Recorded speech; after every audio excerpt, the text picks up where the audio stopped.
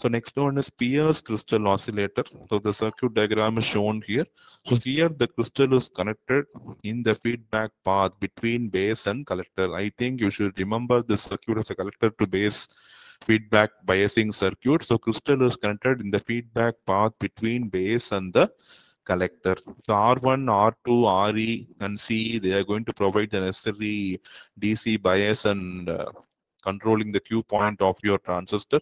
And RF choke. So RF choke will ensure that the DC is completely coupled to the collector of your circuit, thereby ensuring that uh, the collector of the transistor is properly biased and this capacitance C will block DC and allows only AC signal. See the inductor, you know, it is going to allow DC and block AC and capacitor is reverse. It is going to block DC and allow only AC.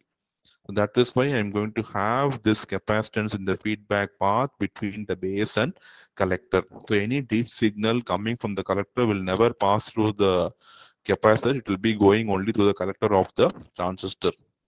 So the frequency of oscillation is given by F naught equal to 1 by 2 pi root of L into Cs and this L and CS are coming from the crystal oscillator parameter. So the crystal oscillator has an equivalent circuit. You have L, CS, R, CP.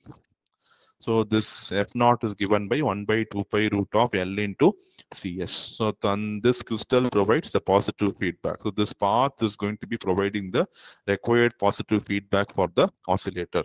The main advantage of Pierce crystal oscillator is it is very simple it is very simple in designing. So if you put the crystal, it is just a conventional common emitter amplifier.